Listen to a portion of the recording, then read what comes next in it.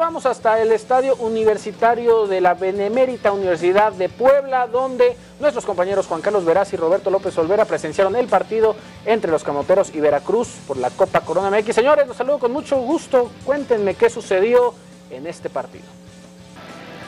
Ricardo, Gerardo, ¿cómo están? Muy buenas noches, amigos de Cana 3. Un gusto saludarles desde el estadio de los Lobos Boap, en donde hoy ha caído, no en el partido, pero sí ya en el marcador total del certamen de Copa. El campeón, vamos a tener nuevo campeón, Roberto. Hoy empate a cero entre tiburones y camoteros. Los camoteros tuvieron una gran ocasión, no lograron anotar un tiro penal y entonces Veracruz es el equipo que avanza del grupo 7 a la siguiente ronda. Así es, el equipo del profesor Carlos Reynoso se queda con el primer lugar del grupo 7.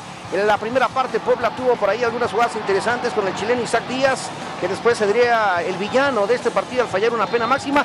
Después vimos a Mario de Luna también, al joven Bermúdez ahí sentenciando algunas jugadas importantes de cabeza que no facturaron, que no fueron al marcador y después Veracruz tuvo la oportunidad también en contragolpes y en eh, pelotas que fueron uno contra uno de poder anotar a su favor. Y al final este penal que vemos una mano clara de Alan Zamora tendría la posibilidad para Isaac Díaz que de pronto tomó la confianza. Falla el contrarremate también falla el Rey y de esta manera se esfuma el sueño de el Puebla de refrendar el título de la Copa Corona MX bueno pues lo que tenemos desde Puebla de Los Ángeles habrá nuevo campeón en la Copa Veracruz está en la siguiente ronda. Regresamos con ustedes Suscríbete a nuestro canal de YouTube y sigue toda la información de tu deporte y de tu equipo favorito.